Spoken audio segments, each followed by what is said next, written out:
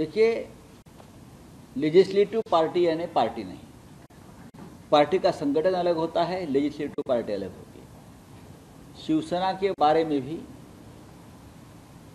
यही निर्णय supreme court ने दिया था। आपके पास विधायक या सांसद हो सकते हैं। अगर कल ये विधायक और सांसद जिसके आधार पर आपने निर्णय दिया है, वो हार गए चुनाव तो पार्टी का क्या होगा?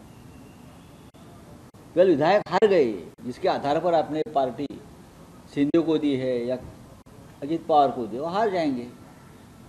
तो पार्टी का क्या हाल होगा? तो पूरा निर्णय गलत है, एक तरफा है। लोकतंत्र और संविधान की हत्या करने वाला है, मैं इतना कह सकता हूँ। शरद पवार जो पार्टी के संस्थापक है फाउंडर है, वो अभी भी है। इलेक्शन कमीशन के सामने जाकर बैठते थे। इलेक्शन कमीशन को देख रहे हैं कि ये पार्टी के फाउंडर है।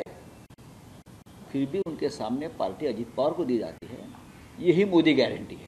टूटती जा रही है रीजनल पार्टी रीजनल पार्टी को तोड़ो